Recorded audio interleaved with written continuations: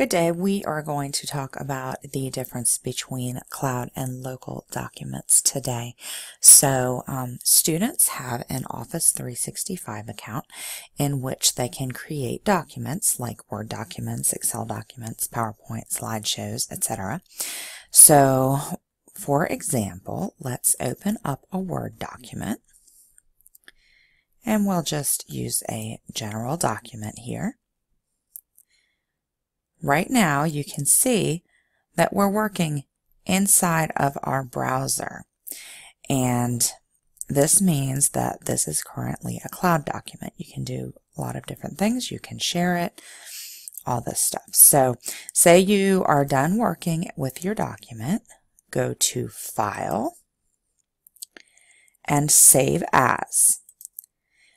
Now, you can save the copy online, which is your default, rename it, or you can download a copy, or you can download it with different formats.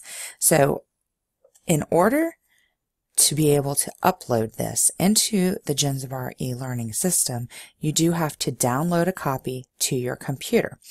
This makes it what we call a local document, meaning that it lives on your local computer drive.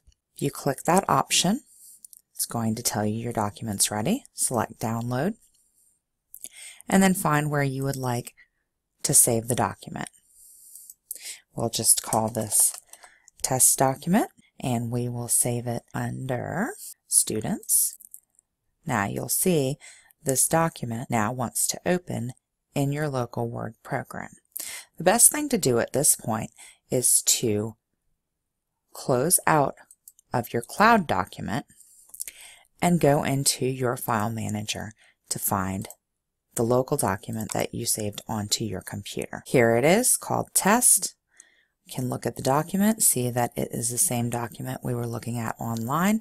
And if we open it here, it will open in Microsoft Word, which you will see is the local version of Word and not the online version. So you see the difference. This is not in a browser. Now, once you verify where you've saved the document, you want to go into My NCWC, find your class, and then find the assignment. Scroll down to Upload a File, choose your file. Now you're going to go back and see, you know, My Documents. We saved this in Students and upload the test document. You'll see it's listed here.